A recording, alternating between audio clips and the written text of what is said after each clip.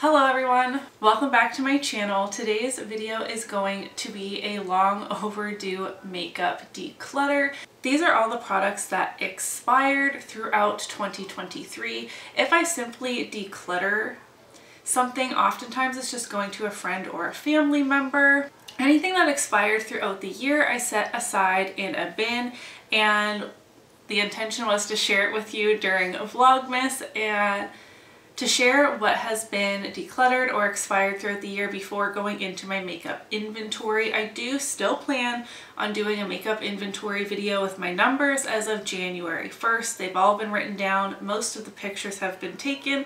I am just extremely behind on videos. So I will be sharing with you a ton of makeup that most of it just went bad which is really disappointing and a big reason why I project pan in the first place is to get good usage on my makeup collection which is on the larger side to avoid things going bad especially when they are barely used. So this will be yet another video where it is going to be overhead style. I just feel like that is the best way to share some of these products with you.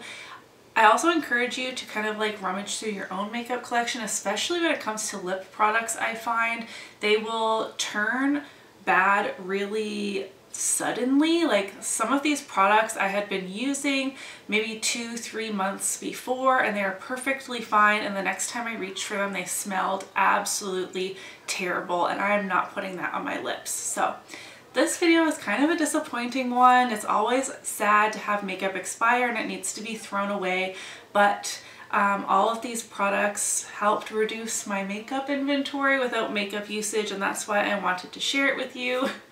The last time I did one of these videos, I was sick with the big C, so the title of the video, I can link it up if you want to watch me really struggling, was these makeup products have expired and so have I or something like that. I was sick as a dog, but I just remember filming that video and feeling like it was really funny. Maybe that was just me. I don't know. I need to stop rambling. My goodness. I hope you guys will enjoy my makeup declutter. Alright you guys, I saved all of the makeup that expired in my collection in 2023 and I have this declutter bin to share with you. There are some things that maybe aren't technically expired but they are just old and I really just don't want to use them but most of these are like full on have gone bad and I've just been hoarding them to share this declutter before I do my makeup inventory so that you can see where some of the missing products you will be maybe noticing in my pictures where they've gone. All these will be throwing out. None of it is good to pass along to others. So I'm just to go through this um, pretty quickly. Let's knock these two big ones out first. These are two face masks that were in my collection that I did not use fast enough. This Alya Skin I've had for a couple years. It was sent to me in PR. It's completely dried out. And same with this Milk Makeup Cannabis Hydrating Stick. It is completely dried out in here. Um, I did use both of these quite a bit, but definitely they probably weren't even half gone each. So this is disappointing. I do like to share these things instead of just finding like I like to keep them together as a visual of this is how much makeup went bad in my collection in the run of a year.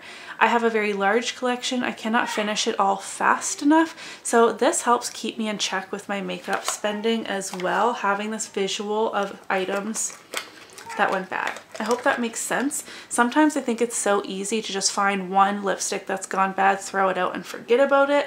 Um, but because I've set them aside, I can now see there are many, many lipsticks that went bad throughout the year and some guilt does some good for my makeup rehab series, let me tell you. I have both of these Milk Makeup Stick products. I received these many years ago around the same time. The twist the packaging of the bronzer broke so I had depotted it into here. This is not airtight so that was definitely not a good um, compact choice for me and pretty soon after, you can see now it's quite dried out, but pretty soon after it smelled really badly of like crayons, you know? And that's what this Milk Makeup blush stick in the shade Work smells like. Um, it just smells really like a nasty old Play-Doh and I'm not putting those on my cheeks. I just found this in the very back of a drawer. This is the LA Girl Pro Coverage White Foundation. I used this as a mixer years and years ago. It's never been included in my proper makeup inventory, but can you see how nasty and separated it is in here? Um, I didn't smell it or anything. I just know that this needs to go. I have three Super Shock shadows here that are totally dried up hard and crusty and I know you can revive these but I have so many it's just not worth it to me. Um, I would just rather let them go. They are not my favorites. I did like um, Weenie here more than the other two. I liked it enough to hit pan on it but now like no pigment comes off. It is very hard and Super Shocks just aren't fun once they lose that like putty texture that they're known for.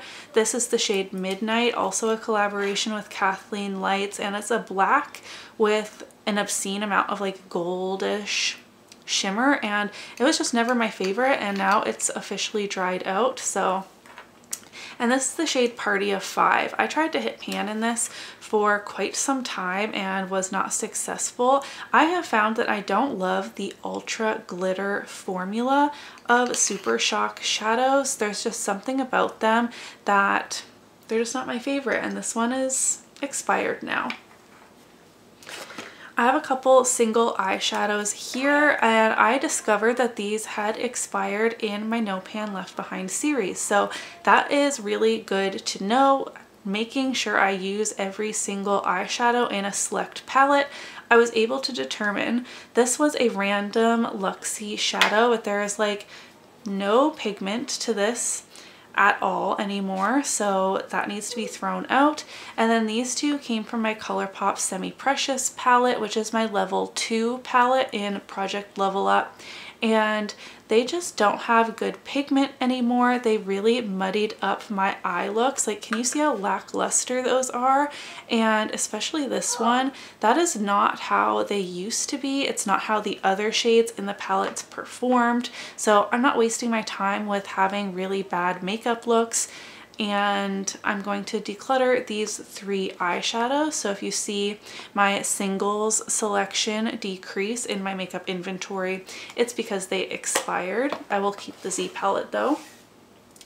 I have this nail polish from Rimmel in the shade Misty. This used to be one of my favorites, um, but it I know once again I could buy nail polish thinner but this is ancient and it smells absolutely terrible and is super thick and goopy. I am ready to let this go. go. Um, I don't see the point in, same with these. Oh, I can smell it since I opened it. Ugh. I would need to buy something else to revive these and they're not my favorites anymore anyway. So why would I buy nail polish thinner when I have like 60 nail polishes to use the shade that is no longer my favorite?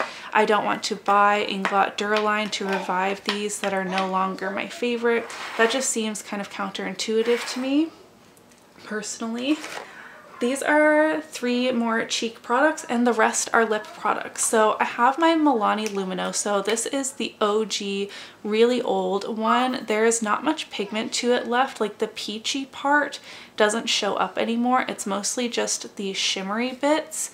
I'm getting a bunch of swatches everywhere, but it's no longer like a blush. It doesn't perform the way it used to. It also smells oop, like old lady makeup now. This NYC Sun in Bronze, same sort of thing. Doesn't really have any pigment left. It is rock hard and like I can't even swatch it. So clearly this has gone bad and I bought it for like three to five dollars. So that can go.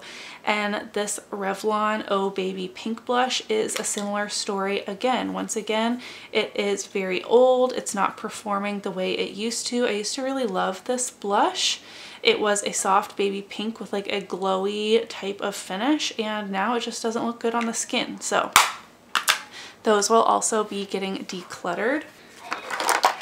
Okay, what's left is lip products. All of these smell terrible or have dried out. So let's quickly go through these. I'm now going to sit up here because my knees are starting to hurt.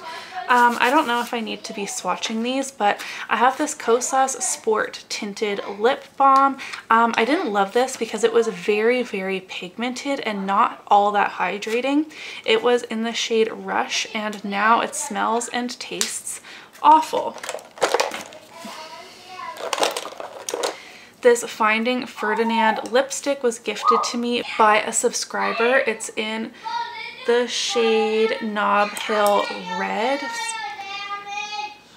My kids are playing video games, so they're getting rowdy, and this smells terrible as well, which is really disappointing.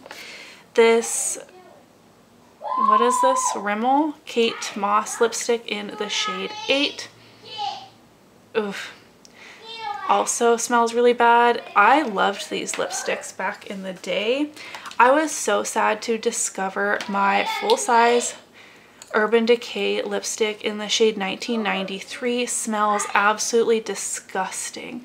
Um, I'm actually, I'm gonna hold on to this and try and find a dupe within my collection because I really loved this lipstick.